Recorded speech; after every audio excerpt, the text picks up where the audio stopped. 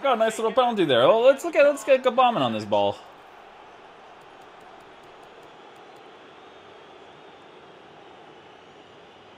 See how good his penalty taking is. Right here on the left side. Oh, he dives too early.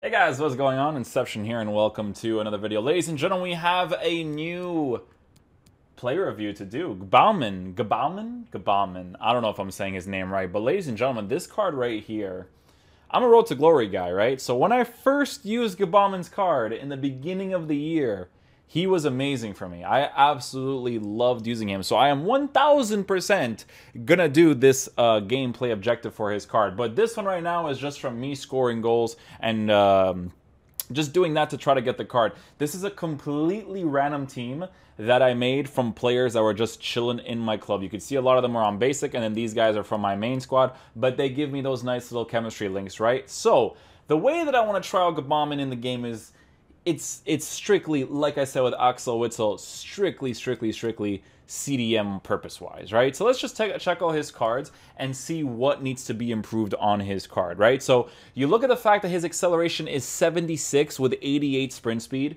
great defensive stats, great physical, agility and balance is pretty decent considering transitioning is really fast in this game. Finishing is 45, which obviously really, really sucks, but the whole point of this card is to be a strong defensive presence in the midfield, right? You have someone who is six foot one tall with medium high work rates playing in the Premier League, right? So if you want to do the fun concept of using Ndidi and um, Gbamin in the same team, you could, right? Because I think Ndidi has a four star weak foot, so it wouldn't necessarily not be worth using, right? So when you look at the card, let's just take a look at some things here, right? So when you look at the card specifically, we're going to go to a Futbin right now really quickly.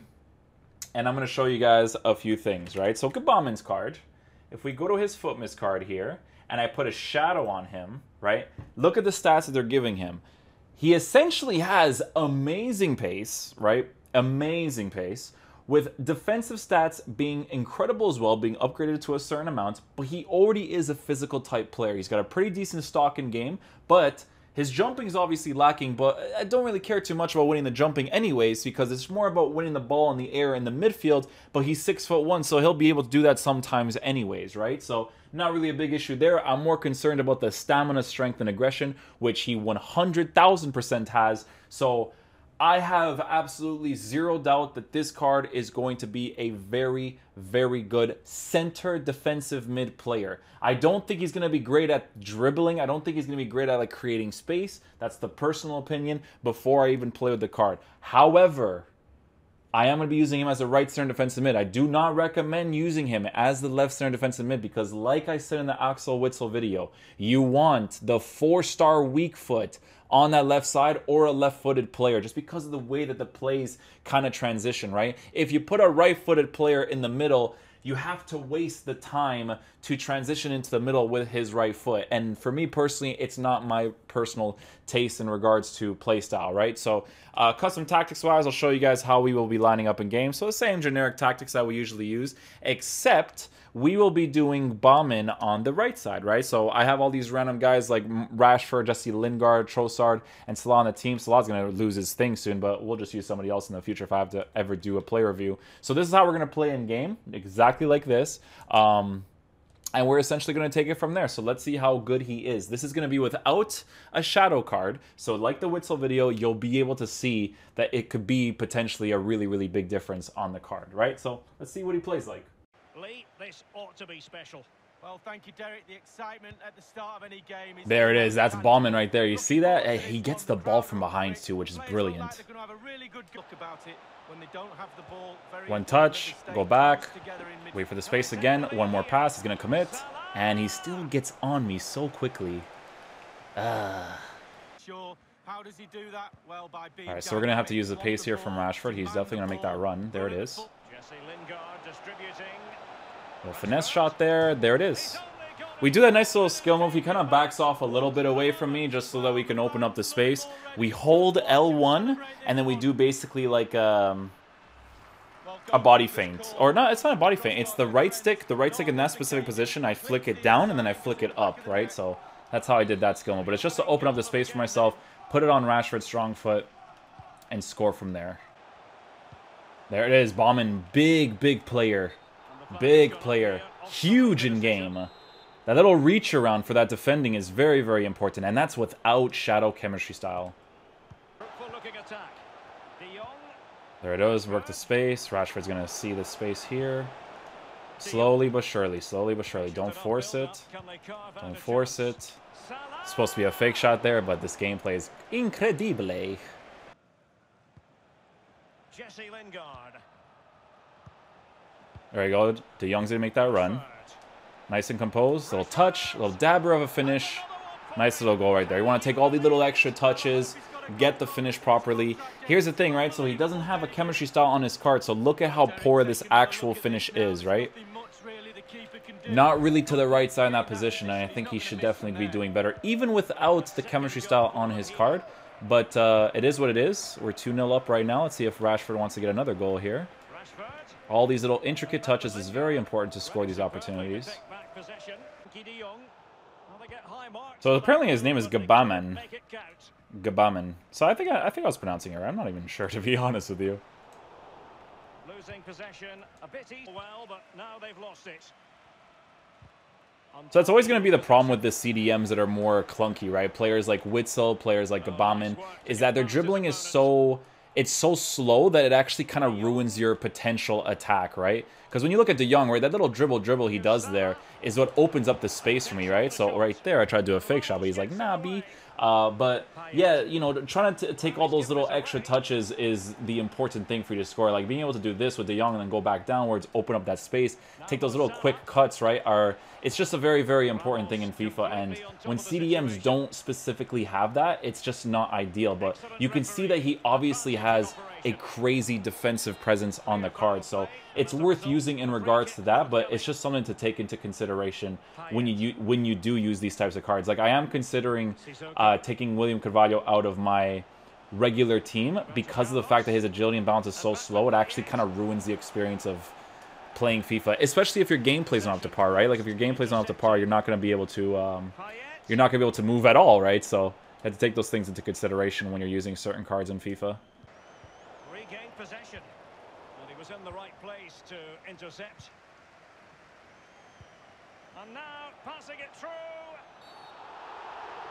Oh, the referee has given it. Penalty it is. Got a nice little penalty there. Oh, let's look at let's get Gabaman on this ball.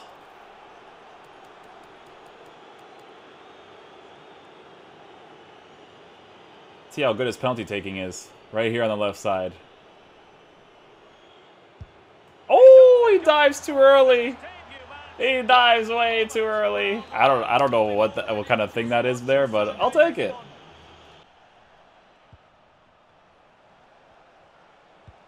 Wonderfully weighted pass. Is it going to be? To Working the space for that near post shot, and he's probably going to rage quit from now on, and he does. So, so far, Gabamann's card, honestly, not as special as Witsel's card. I will be the first to say that. He's not as special as Witsel's card. Is he a very solid defensive mid? Yes. But the fact that he lacks in like this attacking presence is what's throwing me off about his card right now. Okay guys, so nothing else really needs to be said about the card. Uh, he's a very, very generic, good CDM to have, right? Someone who has pace, who has defense, who has physical, and who's off the ball movement in regards to the medium high work rates uh, that he has. It's it's a very very generic CDM card that has medium high with height and physical presence. Right now, I would use this card for the fun concept because I think he's a really really fun card to use, and if I unlock him through a gameplay objective. Why not? It's a free card you're unlocking through the gameplay objectives. Some of the objectives are not even that crazy to do, although some of them require you to do squad battles, and I hate squad battles, but it is what it is, right? Um, he's a right-footed player, so you have to specifically use him in the right center defensive mid position. Uh, like I said, if you do end up using this card in your actual team because you want to link him with some Everton players, I don't know, maybe you have like a flashback Theo Walcott or something, right? Um, and you want to have like a fun concept there, and then maybe they give like Seamus Coleman like a flashback card or whatever it is, right? Um, it's worth it's worth using in that regard, right? It definitely is worth using in that regard for the fun concept. Like I said, that's why when I think about players like Flashback, Walcott, and stuff, these are players that you should be able to attain through just playing the game, not just like, oh, here's a specific time frame. If you didn't get it, too bad for you. You know, that's one of those things that I always think of all the time. But uh, yeah, it's like I said, guys. If you guys do end up using the card, I would highly, highly recommend slapping a shadow on him because, like it is said here on Futbin, 15 plus on the acceleration, 10 plus on the sprint speed, and then great defensive boost. He was already very good with pace without the shadow card on normal chemistry style with full 10 chemistry. So on shadow, you only know he's going to be an even like he's going to be a stronger defensive presence in your midfield. So, um, do I recommend getting the card in your team? Yeah, I do. He's he's he's a fun card to use. And again, like I said, I always tell you guys, man, with Ndidi, if you put Ndidi in your team, you have someone with a four-star weak foot right? Because look, there's a four-star weak foot right there, who's also medium high. So yeah, you'll have two sluggish players, but you'll have two players that are tall that have the defensive presence to do really well, right? Because they're both physical already. You give them shadow, you're increasing their pace as much as possible, as well as their defensive stats, and they'll just be very, very good cards for you. So thank you guys so much for watching this player review as well. Those are the two player reviews we have today. I'm so sorry I don't have the Simone video out. In all fairness, the gameplay I just played right now for the Simone and for um and for Bauman, uh, card was terrible. Okay, you could even see the sliding gameplay from this one game I played, which is why I decided to just play one game. But enough to try out the card. It's unfortunate that I couldn't get the Simone player review out for you guys because I know that you guys wanted to see that one, but. I just, I, you know, I just, it's all about this for me, you know what I'm saying? So thank you guys so much for watching. I'll catch you guys tomorrow for the next FUTMAS reviews, all right? Peace out, dudes. Love you guys.